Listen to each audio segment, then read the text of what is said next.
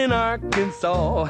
They serve you coleslaw, chopped up finer than a bale of straw. When you crunch and all a bunch of coleslaw keeps you chewing like a crosscut saw. Exercise your jaw by eating coleslaw. Best old goodness that you ever saw. You can break no law by wanting coleslaw. It ain't nothing but some cabbage raw. It can't be beat, just a simple southern treat.